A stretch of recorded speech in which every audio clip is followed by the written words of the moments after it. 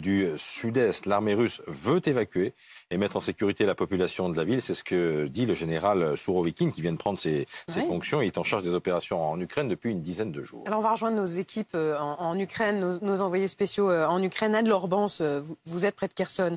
Pourquoi cette volonté des Russes d'évacuer les civils de la ville?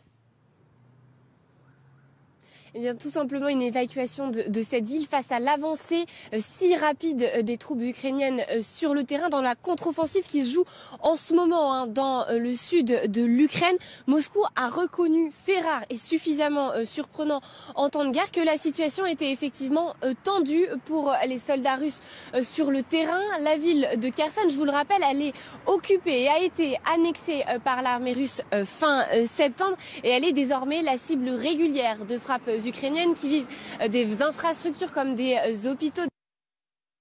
Ah, on a perdu Anne Lorbance. Anne Lorbance en direct d'Ukraine avec Clément Gredonnier et Hugo euh.